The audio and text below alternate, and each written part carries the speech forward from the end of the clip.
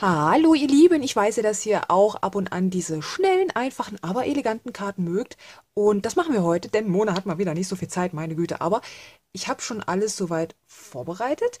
Wir brauchen, ähm, ich habe jetzt diese Farbkombination. Ihr könnt das natürlich wieder so machen, wie ihr das möchtet, aber so weiß-braun, hellblau ist immer ganz, ganz hübsch. Also Kartenrolling, ach jetzt darf mich hier eine Fliege. Kartenrolling in so einem hellblau die Mattung ist in einem Kraft. Ich habe leider nichts anderes mehr da. Ich hätte eigentlich lieber gern so wie sowas wie Savanne gehabt. Ne? Ihr wisst, was ich meine. Und dann noch ein Stückchen weiß, wo wir drauf stempeln können. So, und das sieht dann so aus. Das werden wir dann zum Schluss zusammenfügen, denn ich würde sagen, wir stempeln erstmal eine Runde, machen uns so quasi ein bisschen den Hintergrund. Man nehme ein Schmierblatt bzw. eine Unterlage Und ich habe mir Kleckse rausgesucht und da sind ja schöne in diesem Set hier drin. Frühlingsskizzen. Nee, stimmt das jetzt? Ich weiß es wieder nicht. Ihr findet es unten in der Infobox, weil ich vertausche ja manchmal die Tüten. Das ist ganz komisch. Aber ich mag diese Kleckse sehr gerne. Und dann noch aus diesem Set hier. Ich habe nämlich so kleine Blumen gesucht und habe sie in diesem großen Set gefunden. Das ist Moderne Jubiläumszahlen 2 Teil 2. So kann sein, dass uns gleich Schnucki beehrt. Der sitzt da und zwinkert mir zu. Ja, mal gucken. Hier oben, dieses Blümchen möchte ich gerne haben. Das hole ich mir mal eben raus. So, ich habe mir jetzt mal alle Kleckse auf die Stempelblöcke gezogen. Mal gucken, welche ich dann verwende. Und hier ist das kleine Blümchen. Oh, kennt ihr das, wenn man sich was unter den Nagel rammt? Oh, das tut weh. Aua, aua, sie leidet. So, also, ich möchte jetzt hier quasi mittig einmal so Kleckse verteilen und ein paar Blümchen. Gut, die Blümchen könnten auch so ein bisschen ausscheren. Wir schauen mal. Hab mir jetzt von den Oxiden das Pumice Stone rausgeholt. Ich hoffe, das ist ein guter Braunton. Also einmal Punkte hier hin. Da brauchen wir nicht groß aufpassen. Oh ja, das sieht gut aus. Und einmal andere Seite, einmal drehen. So, Machen wir sie auch nochmal hier hin. Dann nehme ich mal hier diese kleinen, diesen kleinen Strang. Den packen wir hier hin. So. Also Pünktchen muss man wirklich nie aufpassen. Ne? Da kann man ja hier willkürlich irgendwo was hinsetzen.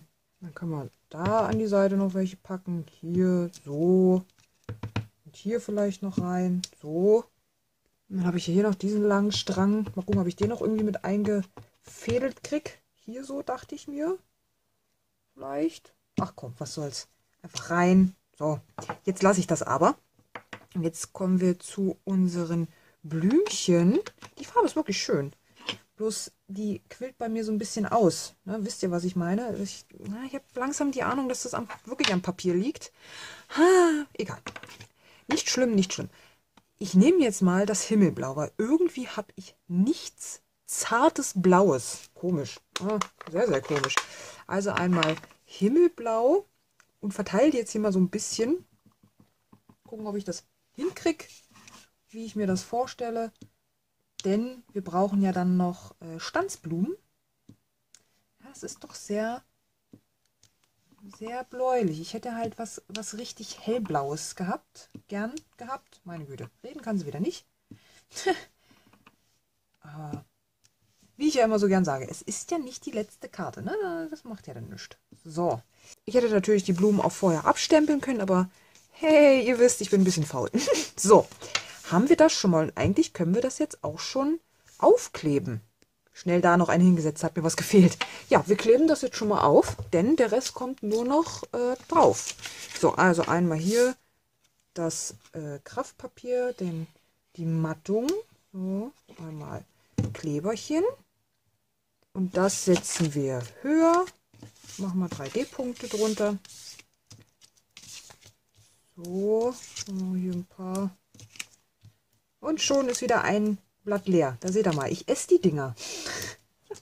Ich verbastel die gar nicht, sondern ich esse die zwischendurch. So schnell, wie die bei mir weggehen. Ja gut, okay, ich setze auch ein bisschen mehr hin wie andere, ne?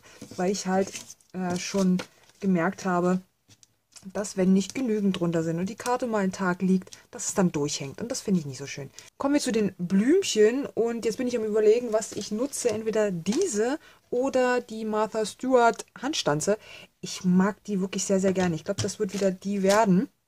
und stanze mir jetzt ein paar weiße und ein paar blaue Blümchen aus. Das ist ein anderer Blauton, der ist ein bisschen heller. Ich dachte mir, das könnte vielleicht gut aussehen. Man könnte natürlich auch denselben Ton nehmen. Jetzt werde ich mir die einmal alle zurecht drücken. Also ich drücke hier einmal rein, damit die so ein bisschen hochkommen. So, alle zurechtgebogen. Und ich habe mir auch schon mal ein Schleifchen aus äh, Leinenfaden gemacht. Und würde die jetzt hier mal so verteilen. Ich gucke mir das mal an, wie und wo was hinkommt. Ne, wir können ja hier einfach mal irgendwo was hinlegen, wo es am ehesten passen könnte.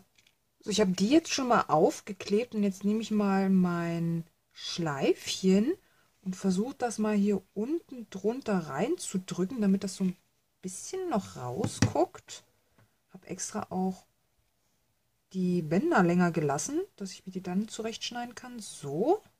Das sieht ja ganz gut aus. So, und jetzt ein bisschen abschneiden. Wollen wir gar nicht so viel machen. Ich finde das ganz hübsch, wenn man so ein bisschen rausguckt. So. Und hier auch nochmal. Okay. So, und jetzt schauen wir mal, ob wir hier noch welche setzen oder ob das reicht. Die kriegen jetzt erstmal noch eine kleine Blume rein. So. so dann nehme ich jetzt noch eine große blaue. Die kommt jetzt hier hin. Ja, schwupp. Ja, noch eine kleine rein. Muss man ja nicht machen, aber ich finde das immer ganz hübsch, wenn noch eine kleine mit drin hockt. Ich habe mir jetzt noch so Holzteilchen rausgesucht, weil ich finde, die passen noch ganz gut dazu, ne? weil wir haben ja braun und wenn man dann noch mal ein bisschen Holz reinpackt, ist das eigentlich ganz hübsch. Und hatte mir jetzt gedacht, Moment, jetzt muss ich gerade noch mal gucken, ähm, diesen hier, genau, der kommt hier rein. Jetzt muss ich noch mal schauen, wie ich den hier reingefummelt kriege. Dann muss die Blume, Pflanze, ja, ist eine Pflanze, muss die Blume mal ein bisschen weichen. Ah, ein bisschen Kleber hier drauf. Oh, ich habe den neu befüllt. Ah, da kommt schon von alleine raus. Ach, feiner Kleber. Ähm, so, und jetzt hier einmal unter das Schleifchen und unter die Blume so ein bisschen schieben. Ja. Und dann habe ich hier noch zwei kleine, die so aussehen wie, ja, entweder Blätter oder Blüten. Und die packe ich jetzt hier noch hin. Einer hier hin und einer dorthin. So. Und dann gucken, ob wir noch irgendwie kleine verteilen. Ein paar kleine Blüten. Also diese hier. So dachte ich mir das. Ja, zwei, drei kleine Blüten mache ich noch hin. Machen wir hier noch eine weiße. So. Machen wir hier noch eine weiße. Hellblau müssen wir ja nicht machen, die haben wir gestempelt. So. Bevor ich jetzt weitermache, mache ich erstmal den Spruch, weil den muss ich ja irgendwo noch mit einfummeln. Ne? Am besten irgendwo hier oder dort und dann vielleicht da noch ein kleines Blümchen mit draufkleben.